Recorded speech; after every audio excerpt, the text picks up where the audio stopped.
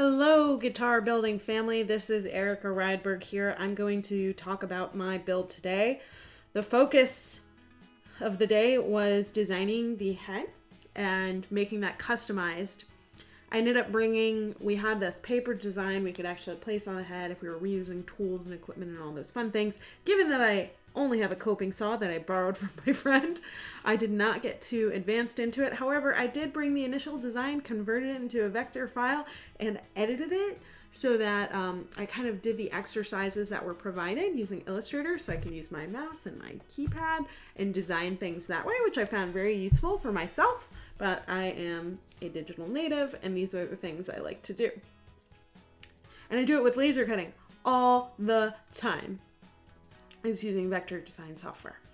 So that's what I did today.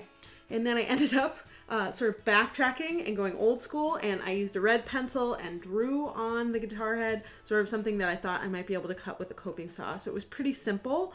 Um, I noticed that when I did cut a, well, I broke the blade. So I had to go on the hunt to get a new blade and then put the coping saw back together, which I managed to do all tonight um, after I got back from my vacation. And then after that, um, I applied more Tru-Oil to everything except the neck because I did that once today and now I feel like I have to play catch up with the Tru-Oil on the guitar neck. I went also on the hunt to find Butcher Block um, conditioner to apply to the fretboard. Did not find that yet. Hopefully I will tomorrow.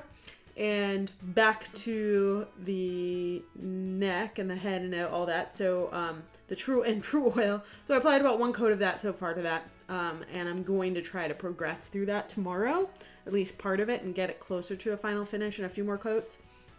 And I also have painter's tape, so I'm going to put that on, protect the fretboard, which I didn't do, and I got my sticky hand, hands on the front a little bit today. Um, so I'm hoping to do a better job of that tomorrow. For the guitar body, I started doing more Tru-Oil application. So I've done, I had done two at least by this morning. And by this evening, I started doing the wet dry application. So a nice sand, um, and I worked with 220 for the dry. And then I went in with some more Tru-Oil and 320 grits or 300, something like that. Sorry, sawdust, man. Um, 320 grits um, paper and worked through that to make sure that it would have a nice application. So I'm going to continue applying Tru-Oil tomorrow um, sanding down that neck to try to get it nice and smooth. Um, I think there's some divots in it. Maybe that gives it a little bit of personality. But that's where I'm at today. And I will continue the journey tomorrow.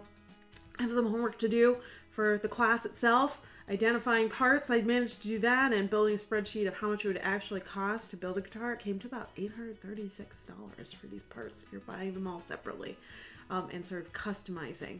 So that's expensive. But hey, so is my time. and all in all, I mean, it would cost quite a bit to build a guitar. That's what I'm learning. And it takes a lot of time.